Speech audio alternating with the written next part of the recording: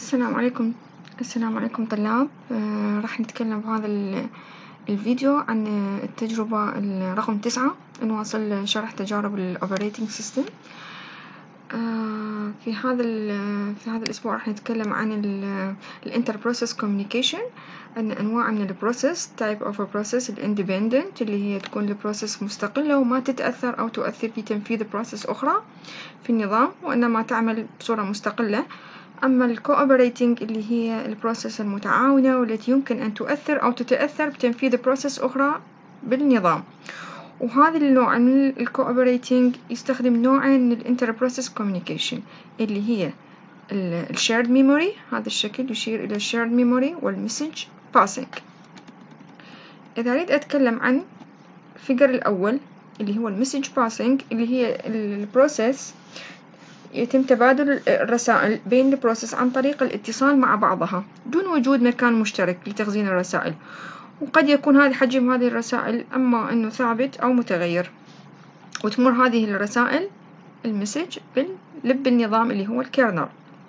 وتحتاج إلى أكيد communication between them.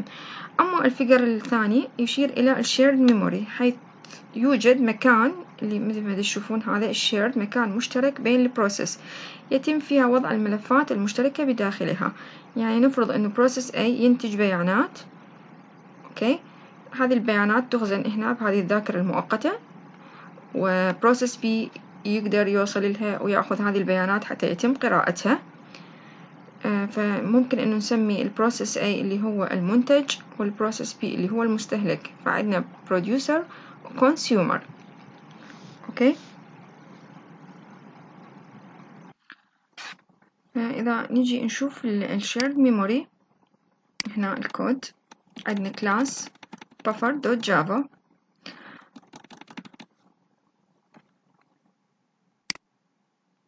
هذا ال class الرئيسي. class اسمه buffer dot أخلق package okay أسميه buffer. داخل هذا ال package إنه أني راح أخلق class interface buffer أخلق ال buffer اللي هي ذاكرة مكان ذاكرة يعني مؤقت يعني مكان أخذ البيانات بصورة مؤقتة من الذاكرة. وداخل هذا ال buffer عندي two method ال method الأولى public void نوعها void ترجع قيمة. العفو ما ترجع قيمة. اللي هي تضيف بيانات. وال method الأخرى اللي هي public remove اللي هي تسحب البيانات. واحدة producer والآخر consumer. أنا هنا فقط سويت لهم declaration بس ما سويت لهم building. أجي داخل ال package نفسه أسوي class. ما أسوي package جديد لا أسوي new class. okay. هنا راح أبني buffer وأخلي اسم ال class buffer implement. okay. يعني إنه أنا راح أبني ال buffer وأنطيت size لل buffer. ال buffer هي هنا عبارة عن إحنا شلون نعرفها بالبرمجة؟ كأنما أنا عندي مصفوفة تقبل مجموعة من ال string.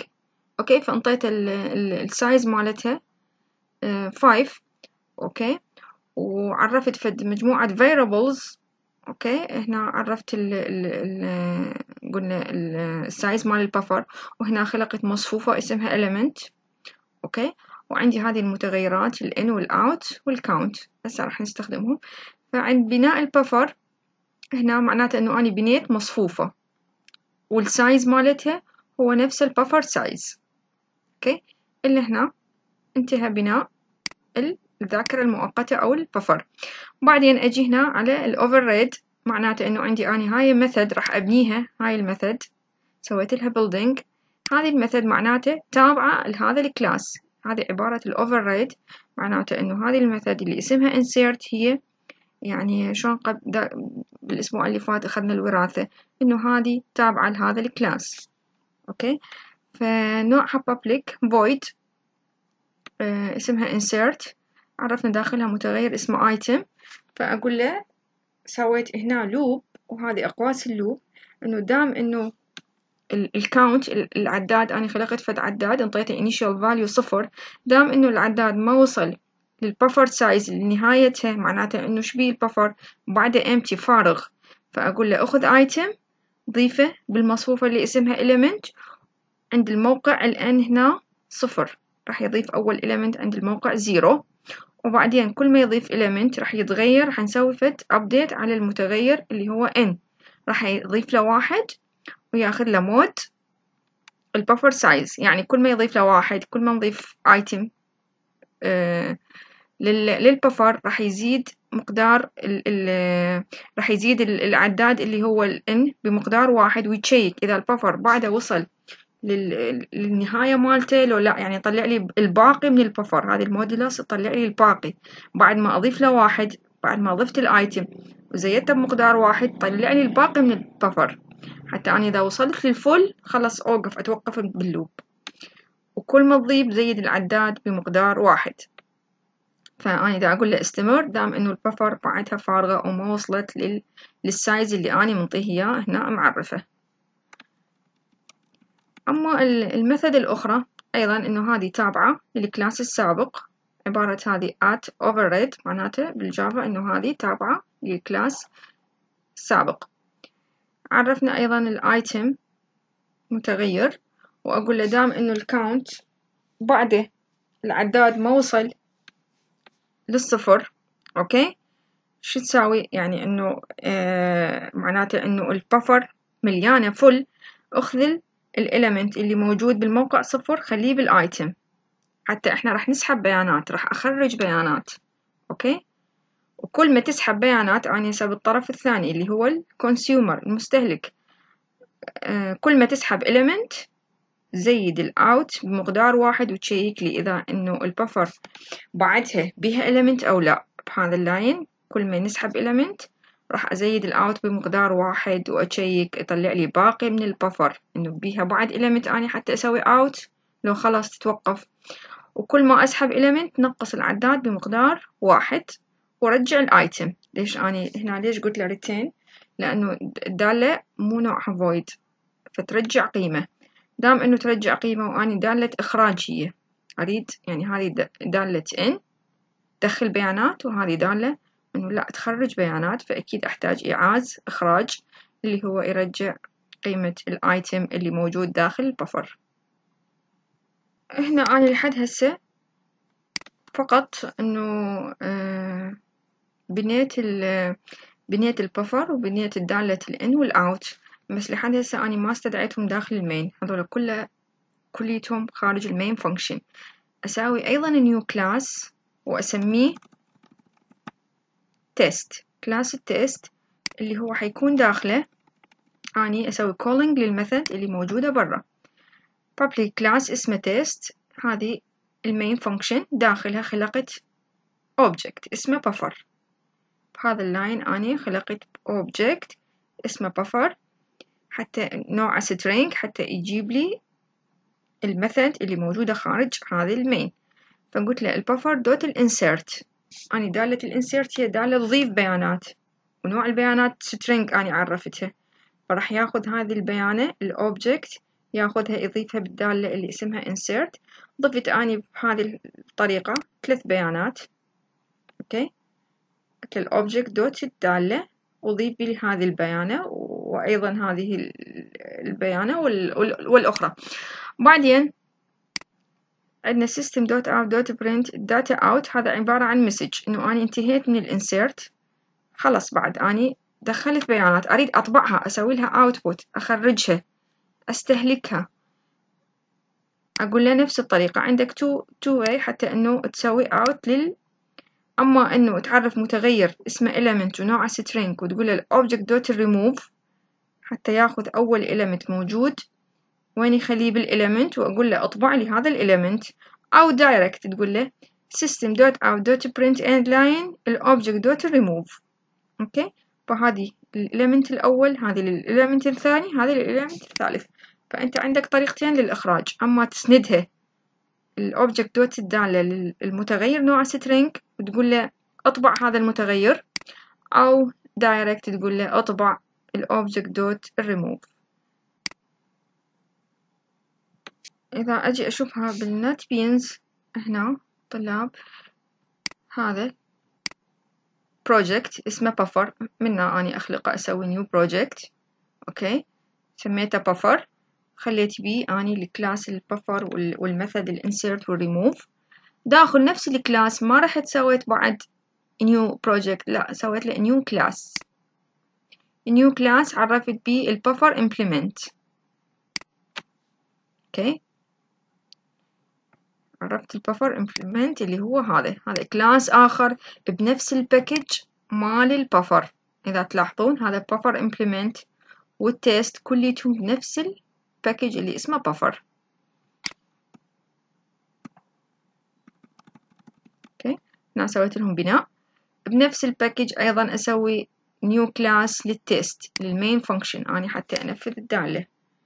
أوكي صار عندنا 3 classes بنفس ال package اللي هو ال buffer class الرئيسي وداخله 2 classes هذا ال package وداخله two classes ال buffer implement وال test test هي هو ال class اللي موجودة بيه ال main function اللي راح أنفذ بيه عندما أنطي run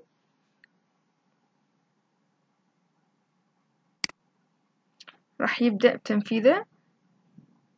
بالبداية ضاف هذه هذه البيانات اللي نوعها string. وبعدين طبع ال data out هذه. وخرج البيانات اللي أنا ضفتها سابقا اللي هي هذه.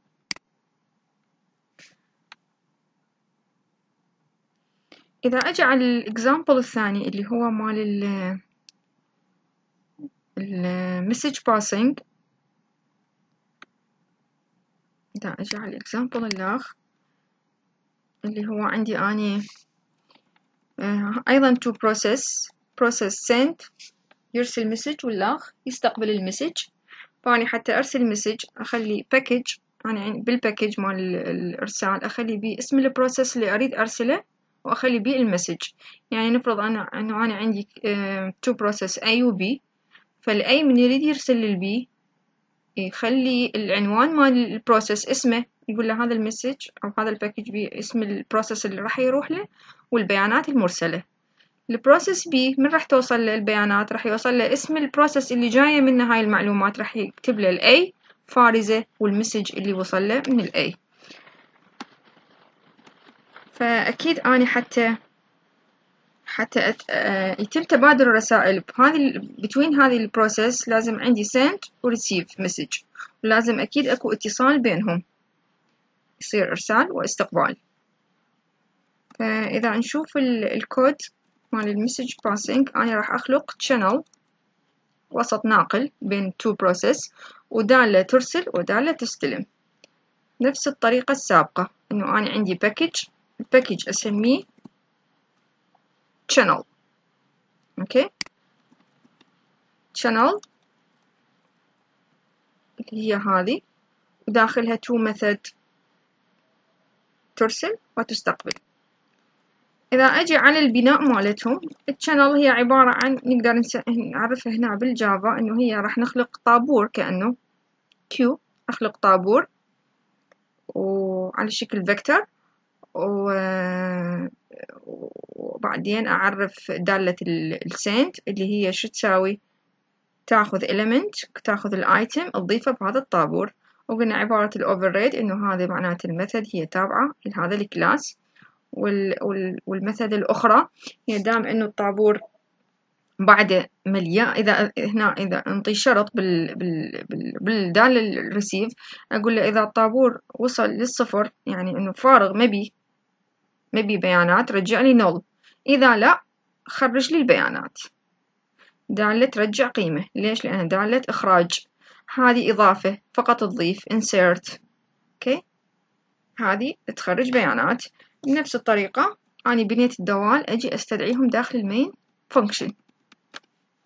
هذا ال class الثالث اللي أنا راح أسميه test. okay داخله. أيضا أخلق object اسمه mailbox. وأخليه for أخليه for okay تفتر من فبعد ما سويت أني for من واحد للمية ما ما انطيته فد range معين إنه آه، فد limit معين. بعدين راح أقول له أخذ ال object dot send راح ياخذ البيانات. ما انطيته أني بيانات هنا نوع string راح ياخذ التاريخ والوقت مال الحاسبة ويعتبره إنه هو ك message ويرسله. فراح يرسل يرسل للدالة اللي اسمها send. وبعدين بعد ما يخلص بعد ما يرسل مية مرة okay؟ تفتر هذه ال loop مية مرة راح يسوي output للبيانات المرسلة. أيضا راح يخرج تاريخ ووقت الحاسبة اللي من الكمبيوتر هذا معناته راح ياخذ new date إذا أجي أطبقه بال NetBeans فأني عندي هذا ال class الرئيسي اللي هو ال package سويته من هنايا new package إذا تشوفونه هذا اسمه channel. package واحد داخله سويت ال message queue هذا اللي هو بنينا عرفنا طابور ودالة ترسل بيانات ودالة تستلم بيانات. وداخله أيضا سويت new class من هنايا أسوي new class داخل ال main function خلقت object اسمه mailbox هذا ال mailbox راح يضيف بيانات ياخذ تاريخ ووقت الحاسبة ويضيف للدالة اللي اسمها send وبعدين راح يسوي لها يخرج هذه البيانات بإعادة طباعة okay؟ إذا أجي أنفذه طبعا أنا من أريد أنفذه. ما أنفذه بهذا ما أوقف هنا وأنطي run أو أو أتوقف هنا وأنطي run لا أروح على ال class اللي موجودة بال main function بال class اللي موجودة بال main function أني أنطي run مثل ما تشوفون هنا ال output جاب البيانات تاريخ ووقت الحاسبة اللي موجودة في حاسبتي. رسلها الدالة send مئة مرة واستقبلها وطبعها أيضا مئة مرة.